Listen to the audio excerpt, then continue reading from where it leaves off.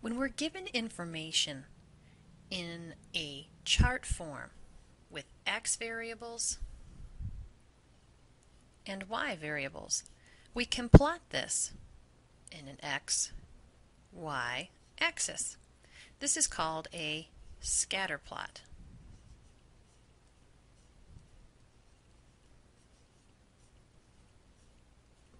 Excel does this for you.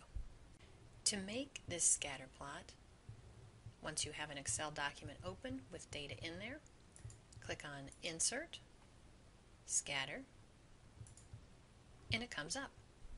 If you want to see the trend line, the best fit line, click under Chart Tools, Layout, Trend Line, Linear Trend Line. These scatter plots can have positive slopes, meaning the best fit line, or trend line as Excel calls it, goes upward as you read from left to right, or the trend line could be going downward, showing a negative slope. The slope is a measure of a relationship between the x and y variables. The closer it is to 1, the stronger it is. This could be a perfect positive 1, or it could also be a strong perfect negative 1. Anything that's close to 1 is considered strong. Those that are in the center meaning r equals 0, meaning there is no linear relationship between the two variables.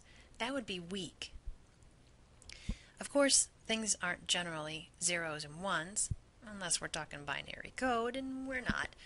So there are numbers that are in between. For instance, we could have 0.1 would be a weak positive relationship, or 0.6 might be a moderately strong positive relationship. 0.9 would be a very strong positive relationship. The same happens in the other direction. three, that's negative would be a weak negative relationship.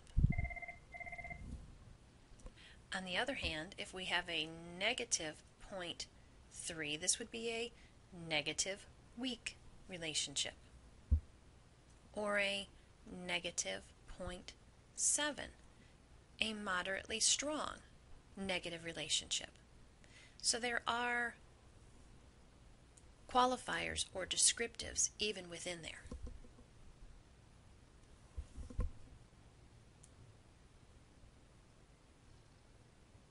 This measurement, whether positive, negative, and weak or strong, is called the correlation coefficient. The correlation coefficient in the population, remember that parameter goes with population, the symbol is, again, a P, called rho. This measures the strength of the relationship. The correlation coefficient R shows how strongly one variable is dependent upon the other for a sample. And your formula? Ta-da! Just kidding. Excel is our friend. So let's look at this problem, hours of study and test grade. If we go into a new Excel file and click on the Data tab, on the far right edge is data analysis. Go to what's called correlation and click OK. The input range is our data. If we want to put this on a new sheet, click OK. I want to put it on the same sheet so you can see it better. So I'm going to click Output Range, grab a cell to put it in, and I have a value. 0.48977. that means that R, the measure of the relationship, is 0.48977, or about 0.49. We could say this is a moderately weak positive relationship. I would say weak because it's less than half, but it's not really, really low. So I use that qualifier of moderately. Before we go too much further, I also want to talk about what's called the coefficient of determination. In shorthand, this is known as r squared. It's the measure of amount of variation in y explained by the variation in x. This is going to be a consistent phrase. So back to our previous example, if r equals 0.48977, then r squared must be 0.48977 times 0.48977. My rusty trusty calculator.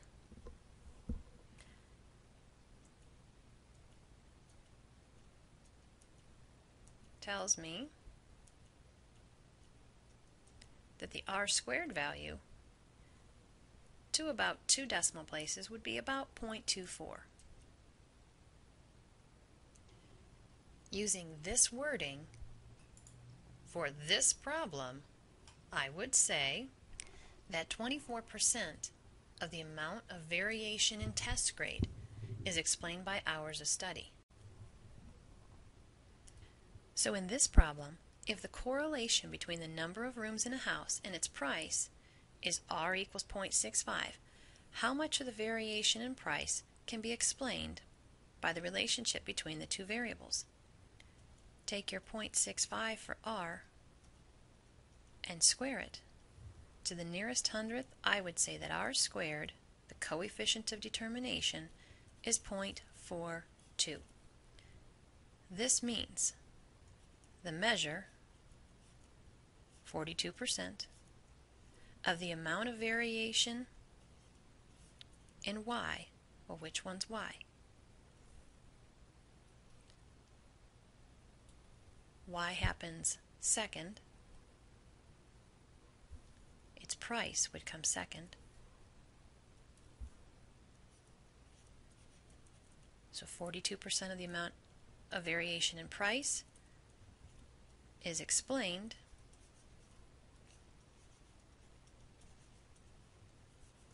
by the amount of variation in x. x is represented by the number of rooms in a house. So 42% of the price is explained by the number of rooms.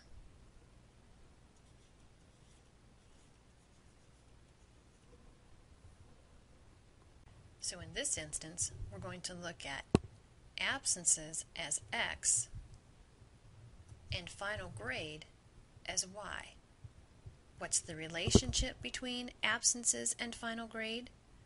And what's the amount of variation in final grade explained by absence? So we go to data, data analysis, correlation, grab your input, output range.